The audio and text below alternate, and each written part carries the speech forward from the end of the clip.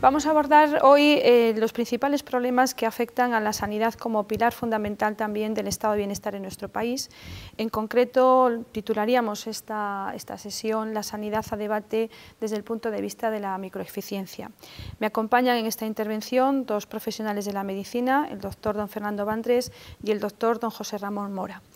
Y bueno, por abrir un poquito esta tertulia, me gustaría saber un poco para también situar a los espectadores qué representa la sanidad española en cifras. Bueno, yo creo que para conocer efectivamente qué tenemos que gestionar, pues hay que saber que en nuestro país el 9,6% del Producto Interior Bruto nos lo gastamos en sanidad, eso serían unos 88.000 millones de euros, de los cuales unos 64.000 millones son gasto público, y nos los gastamos pues a lo mejor 1,2%, 1,3% en salud pública, más de la mitad, un 54%, nos lo gastamos en gasto hospitalario, un 15% en atención primaria y alrededor de un 20% aproximadamente en, en gasto farmacéutico. Esto lo hacen un conjunto de profesionales, en el hospital unos 65.000, 68.000 médicos aproximadamente, y en atención primaria pues unos 7.000 pediatras, y otros 20.000 aproximadamente médicos de atención primaria. Eso se hace en unos 406, 410 millones de consultas, de las cuales 77 millones son consultas de especialista, se dan unos 4 millones y medio de altas hospitalarias y alrededor de unos 4 millones y medio o algo más de intervenciones quirúrgicas. Ese es el macrovolumen de lo que hacemos y como la sanidad está transferida a las comunidades autónomas, pues cada comunidad se viene gastando alrededor del 32-36% de, su, de, sus posibilidades económicas, se las gasta en sanidad. Y esto viene a representar como unos 1.350 euros por habitante y año, con alguna variación, depende de cada comunidad autónoma y cuál es su destino presupuestario, ya que está transferida la sanidad y por lo tanto tienen autonomía para elegir, priorizar ciertos elementos de gasto. Yo creo, Fernando, que eh, en primer lugar la sanidad representa un ingente volumen de recursos económicos, pero también, como has señalado, un ingente volumen de, personal. ¿no? Y desde este punto de vista y orientando este debate hacia la eficiencia del gasto público, del gasto en bienestar y del gasto sanitario en concreto, eh, ¿qué papel desempeña el factor humano en la prestación del servicio sanitario en nuestro país y, sobre todo, orientándolo hacia la eficiencia? Bueno, eh, muy buena la pregunta, decir que según la propia teoría de Donavedia, que define lo que es la estructura, los procesos y los resultados dentro del sector, eh, dentro del sector sanitario, comentar que el factor humano eh, se sitúa dentro de lo que es la propia estructura y eh, con unos gastos fijos, fundamentalmente. Por tanto, este factor humano que compone todo el colectivo de médicos, todo el colectivo de enfermeras y otros profesionales sanitarios, va a suponer que eh, tengamos eh, un gasto fijo en el sistema que ronda entre el 45 y el 60%, dependiendo de la comunidad autónoma, puesto que hay variación salarial dentro de estas comunidades autónomas y, por tanto, en función de la variación salarial, la estructura del capital humano va a representar más o menos gasto. Si a esto le añadimos, además, un 8% de gastos de mantenimiento de todo lo que son los equipos, una vez que ya se ha realizado la, función, pues eh, nos encontramos aproximadamente entre un 55 y un 65% de unos gastos fijos. Bien, eh, a partir de esos gastos fijos pasamos a la segunda, al, segundo elemento de Donavedian, que es los procesos. Bien, esta es la caja negra de la sanidad, los procesos. ¿Por qué es la caja negra? ¿Por qué se dice que es la caja negra de la sanidad? Porque es donde se puede descontrolar el gasto. ¿Y por qué se descontrola el gasto? Bueno, los expertos y los estudiosos dicen que el gasto se puede descontrolar por diversos motivos. Por diferentes defectos de la calidad. Por ejemplo, una de ellas es la, variabilidad de la práctica clínica, es decir, la forma de enfocar los diferentes mm, diagnósticos y prescripciones que realizan el personal sanitario. No me refiero solamente a médicos, también enfermería, también eh, farmacéuticos, también otros profesionales. ¿Correcto? Entonces, esa variabilidad es un elemento que está fuera de control. Y como está fuera de control, es muy difícil establecer un sistema que podamos eh, mm, conocer cómo se gasta y dónde podemos actuar para controlar ese gasto. ¿Es posible, perdona, es posible, José Ramón, entonces estandarizar los procesos? Bueno, eso sería ahora la segunda parte, es decir, estoy, planteando el problema. Por tanto, en esa caja que está ahí, que en un principio está fuera de control para los gestores y está en manos de los profesionales para la decisión clínica, para la inducción de la decisión clínica que va a generar un consumo de tiempo, un consumo de recursos y, por tanto, unos costes, ahí es el elemento donde se tiene que actuar desde la microeficiencia. ¿Para qué? Para conseguir la tercera pata, que es unos resultados aceptables tanto para el paciente como para el sistema. Por tanto, en esa línea continua de lo que es estructura, proceso y resultado, que es una estructura muy antigua, pero que sigue en estos momentos vigente, es donde tenemos que, eh, que centrarnos en esos estudios y esos análisis. Porque, lo he dicho, la estructura depende no solamente los recursos humanos, también ahí está incluida fundamentalmente todo lo que son las decisiones políticas y todo lo que son las, decisiones de financiación, mientras que los procesos es donde se gasta y donde se consume toda esa financiación fundamentalmente. Y los resultados es el que recibe el efecto o el impacto de esa producción de servicios. es importante tener en cuenta que si nosotros estos datos que hemos dado de gasto hemos de considerar que se financian con presupuestos generales del Estado, por lo tanto es el resultado de las aportaciones según la capacidad de cada uno, de manera proporcional, según la fiscalidad, pero en cambio se gastan en relación directa con la necesidad. Es decir, yo financio acorde con mis capacidades, pero gasto acorde con mis necesidades. Y ahí aparece el concepto que dice José Manuel del proceso. Es verdad que en el proceso hay históricamente una gran discusión entre el criterio de gestión puramente de economía de la salud y el criterio profesional. Y aparecen en los últimos años las guías de práctica clínica, que valen no solamente para modular el gasto y tener coste-efectividad y eficiencia adecuada, sino también por temas de responsabilidad profesional. No olvidemos que hablamos de la salud y en virtud del concepto de salud que tenga cada sociedad y de cómo quiera proteger y establecer un criterio de bienestar, en ese sentido hablamos. Entonces, vacunamos o atendemos al cáncer o atendemos al SIDA. Hemos de hacer criterios de priorización. Y luego la atención sanitaria tiene que ser acorde con las exigencias de las tecnologías actuales, no de las modas, sino de las tecnologías contrastadas con criterios de evidencia científica. Por lo tanto, estamos, ante un debate, en mi opinión, de gran trascendencia, donde al hilo que dijo José Ramón, yo creo que el potencial, el capital humano, es trascendente en la toma de decisiones. Sin él no se podrá hacer y contra él será imposible. Pero antes comentaba José Ramón, es verdad que estamos, eh, y lo sabemos, el contexto económico eh, de crisis, pero el contexto económico general es que los recursos son escasos, las necesidades ilimitadas, hay que priorizar, hay que jerarquizar.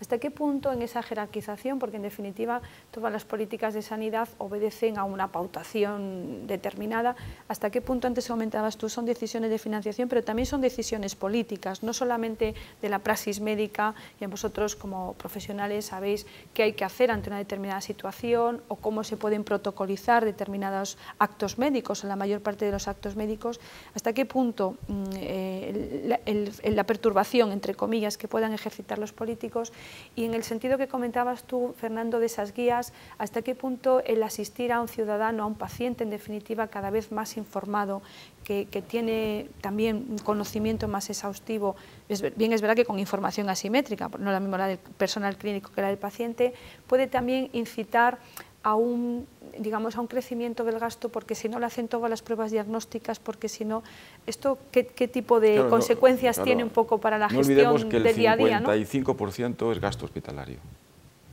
Luego, si hablamos con criterios de eficiencia, hemos de poner varios ejemplos. Uno, matar una mosca con un cañón.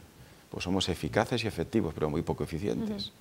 Segundo, si tenemos el ejemplo del cáncer de mama en España, el diagnóstico precoz del cáncer de mama en España ha permitido que se reduzca la mortalidad un 2,2% cada año. Si hiciéramos lo mismo con el cáncer de colon, que es coste efectivo demostrado, reduciríamos el gasto sanitario en el tercer nivel, cuando se llega al hospital con un tumor, con una pérdida de capacidad de, esperanza de vida, con años de vida de calidad perdidos. Entonces, si eso se hace con una estrategia de políticas de salud del medio a largo plazo, hablamos de una cosa. Ahora, si hablamos del cortoplacismo, estamos hablando de otra. Yo creo que hay que tener claro, como antes estamos comentando, que el contexto de toma de decisiones en sanidad no es solo dividir el dinero entre cada persona y ver qué necesidades tiene inmediatas en medicación o en atención hospitalaria, sino en ver una previsión al medio largo plazo de lo que debemos hacer. Y ahí interviene de manera muy clara la cultura sanitaria del país. Nosotros somos un país que consume, yo creo que bastante en sanidad y de manera un tanto desproporcionada. Y habrá que analizar eso críticamente. Igual que se lanzan pruebas diagnósticas donde se ha visto que en algunos casos no son eficientes.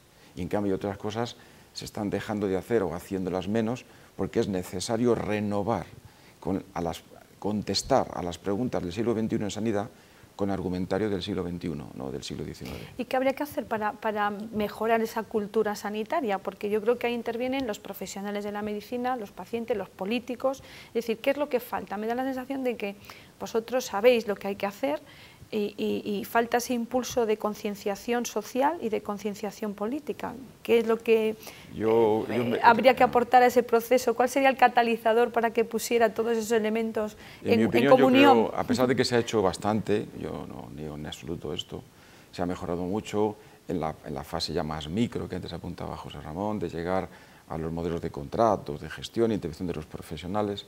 Yo creo que falta un diálogo suficiente y de altura decir, que si yo tengo una visión de la prevención del cáncer o el mejor tratamiento del cáncer con una relación de coste-efectividad adecuada al medio plazo y tengo enfrente una discusión donde a alguien no le interesa esto porque quiere hacer otra cosa, porque eso permite ganar elecciones, pues estamos hablando uno en chino y otro en inglés. Y entonces yo creo que eso no es posible.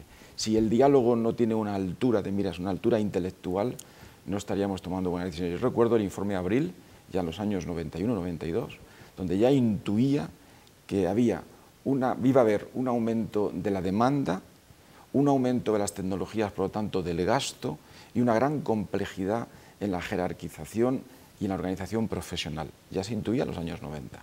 ¿Hemos hecho un recorrido positivo? Sí. ¿Escaso? Yo creo que también. ¿Y qué elementos un poquito, mm, no sé, por ejemplo España es, yo creo que es uno de los países, siendo el primero que figura en la lista de trasplantes, de, que en definitiva es un acto de solidaridad, de buena gestión, de, de concertación entre todas las administraciones o todos los órganos implicados? ¿Qué, qué, propondríamos nosotros? Es decir, ¿cómo mejoramos esto? Hay que mejorar la cultura, evidentemente la medicina preventiva y los hábitos de vida y de salud juegan un papel también importante. ¿no? Yo pienso que a través de campañas educativas, en la escuela, en, los medios de comunicación, etcétera, de sensibilización a los políticos, que quizá yo creo que falta un poquito esa conexión entre ese diálogo de altura que señalabas tú, pero ¿qué, podríamos nosotros eh, decir si nos pusieran aquí la caja de los deseos? y ¿Qué solicitarían ustedes para realmente mejorar mm, desde el punto de vista de la gestión, desde el punto de vista de la eficiencia, la prestación del servicio sanitario en nuestro país? Bueno, yo creo que si consideramos la eficiencia como un elemento global, hay que considerar los tres estratos clásicos donde se puede actuar el estrato más alto, más macro de la eficiencia, yo creo que pasa por un acuerdo amplio entre eh, diferentes fuerzas políticas y las organizaciones que representan a los profesionales. Esto es fundamental, o sea, un pacto de Estado la sanidad tiene que tener. En cierta forma lo tiene, porque si os dais cuenta, desde el 78, 86 ha habido diferentes eh, partidos políticos que han gobernado España y se ha mantenido el Sistema Nacional de Salud, se han mantenido las leyes, ha habido ciertos retoques, ajustándolo coyunturalmente, pero las bases y los pilares del sistema se tienen. Y las bases se tienen porque la ciudadanía yo creo que está contento con este modelo, a pesar de sus eh, defectos. Por tanto, es importante este gran pacto de Estado, igual que hubo un pacto para las pensiones, yo creo que tiene que haber un pacto para otra política de bienestar social, como es la sanidad, independientemente de que pueda haber pactos para la educación y para otras políticas que forman parte del estado de bienestar. Luego a nivel medio, a nivel meso, yo creo que también hay cosas muy importantes que hacer. Yo creo que hay que eh, trabajar conforme a lo que ha comentado Fernando, que son principios del informe Abril, que muchas veces y actualmente se mantienen muchas cosas pendientes por hacer, y además otros elementos que se han ido incorporando con el avance por ejemplo, de las tecnologías sanitarias, considerando también los medicamentos como tecnología sanitaria, por tanto hay que dar un uso racional de las tecnologías sanitarias. La inducción de las decisiones no pueden ser de cualquier forma. Es decir, las decisiones médicas, las, las decisiones del personal sanitario no se pueden hacer a capricho, tampoco se pueden hacer directamente a demanda de los usuarios, sino que hay que racionalizarla y ponerlas en un contexto de la mejor evidencia o de la mejor experiencia posible, porque será la forma de racionalizar eh, no solamente el gasto, el gasto es una consecuencia de la acción, sino de racionalizar las actividades, de mejorar los circuitos del sistema. Y luego también la coordinación eh, asistencial en función del estudio y el desarrollo de la demografía española. España es un país que crece en edad, que va a consumir más eh, servicios sanitarios en la parte final de los ciudadanos de la vida y que por tanto hay que responder con modelos de asistencia basados en gestión de la cronicidad, gestión de la convalescencia, gestión de la geriatría, etcétera, que hay que eh, sacarlo o hay que eh, establecerlo, si bien coordinado con el sistema clásico de hospitales, pero sí con una atención muy diferenciada y más eficiente. Y por otra parte, la atención primaria. No olvidemos que la atención primaria es la entrada. Entonces yo creo que la atención primaria en estos momentos no está cumpliendo el servicio que tiene que ser de gestionar al paciente. ¿Por qué? Porque el paciente, salvo una urgencia que acuda a un hospital, ¿verdad? El primer contacto es un médico de cabecera. Y el médico de cabecera tiene que gestionar ese paciente, tiene que ser el modulador, aquel que guía al paciente en lo que es la trayectoria dentro de lo que es el sistema para que pueda tener eh, o pueda obtener los beneficios, claro, de las diferentes atenciones precisas en cada nivel, que sean a nivel, de atención primaria, a nivel de atención primaria, a nivel de atención especializada, pues a nivel de atención especializada. Por tanto, la coordinación entre la atención primaria y la atención, y la atención especializada es un elemento que está pendiente todavía de desarrollarse. Así que pues yo creo que eso es otro, otro, otro, otro punto importante, el uso adecuado de las tecnologías, la coordinación primaria especializada y luego eh, mm, trabajar fundamentalmente en lo que es la motivación y la incentivación del capital humano para que saque el rendimiento. Y esto hay que hacerlo ya. ¿Por qué hay que hacerlo ya? Pues sencillamente porque el elemento clave mm, de la atención sanitaria es el profesional sanitario. Y como profesional sanitario es el que tiene el valor mm, del sistema, que es el conocimiento y la experiencia. Y por tanto, eh, lo que no se puede hacer es lo que se viene haciendo últimamente, que es establecer medidas de una generación de más allá de la productividad sin hacer un análisis serio y por otra parte un recorte en todo lo que es eh, su salario o sus incentivos profesionales. por tanto, ahí yo creo que esto es un elemento que va a marcar mucho la disponibilidad y eh, la implicación del profesional dentro de la sanidad eh, pública. O sea, que es un tema importante. diálogo de altura, porque yo como usuario de la sanidad, como paciente, como, como miembro de, un país en el que pago mis impuestos, pues a mí eh, tengo que tener un diálogo de altura. A mí me gusta que me expliquen por qué la cobertura sanitaria, por ejemplo, de la población general en el País Vasco es del 98 y pico por ciento, 96 por ciento más o menos, y a lo mejor en Baleares es del 92. Principio de equidad. ¿Por qué en unos casos el gasto sanitario de una comunidad autónoma es del 34 y en otras del 38. Sé que con las cifras no, quiero jugar con ellas y manipularlas, ni mucho menos. Yo quiero que me lo expliquen. Yo las leo, las estudio y las comparo. Yo quiero ver que el profesional se le pide siempre todo, pero necesita tener también unas expectativas profesionales, elementos de estímulo que siempre han hablado, porque todos respetamos en el potencial humano. Eh, has hablado de los trasplantes, pero hablemos de la alta cirugía, de la cirugía mayor ambulatoria, de los procedimientos en enfermería que se están haciendo de manera extraordinaria en los últimos años, pero yo no veo que este debate llegue a la población. También es cierto que con las crisis que estamos pasando y que no va a ser corta en el tiempo, y los diferentes modelos de gestión que están aflorando con un gran debate social, político, pues yo creo que lo que están haciendo es aflorar las deficiencias de todos. Como en todos los momentos de la historia, cuando ocurre este momento de crisis, aflora todo aquello que nos creíamos que era cierto y seguro y vemos que no lo es tal. Por eso yo eh, pedía un diálogo de altura. Diálogo de altura es saber tener capacidad de autocrítica, capacidad de comprensión y sobre todo una capacidad de mirada hacia el horizonte, porque lo que se avecina en salud, igual que en educación, lo que está en juego es el concepto de bienestar y es el concepto de, la, potencia como país. Un país más saludable es un país más productivo, es un país más contento, es un país más capaz, pues como un país más culto. Por lo tanto, aquí o lo hablamos en serio o jugamos a las cifras para ganar las elecciones próximas o para conseguir una plaza en un lugar determinado. Yo creo que este debate en los modelos de gestión, sanidad pública, privada, modelos de relación, hemos de hacerlo de una manera un tanto descarnada, pero sobre todo con un objetivo, que el usuario o el enfermo potencial sepa realmente qué es lo que está pasando. ¿Por qué digo esto? Porque es muy probable, en mi opinión, que haya que decir claramente que tiene que, tiene que reducirse la cartera de servicios y prestaciones porque no hay dinero para pagarla. ¿Y eso cómo lo asumimos? Yo, creo que, perdón, yo creo que actualmente, eh, si entramos en, cartera de, servicios, de, prestaciones, yo creo que España es uno de los países que tiene una cartera de prestaciones o de servicios más, más completa.